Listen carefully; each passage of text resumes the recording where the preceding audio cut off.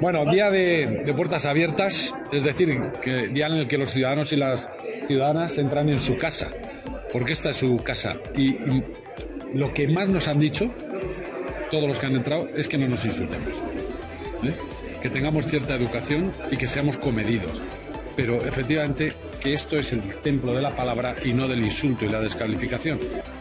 Y espero que saquemos la lección de esta jornada de hoy, de que aquí nos tenemos que comportar con respeto, respetando al que piensa distinto, con educación y también con ideas, con propuestas y con argumentos, no con el insulto y la descalificación. Para eso no nos quiere la ciudadanía y espero que estemos a la altura y que sepamos estar y que tengamos también nuestro sentido institucional cuando somos diputados y diputadas.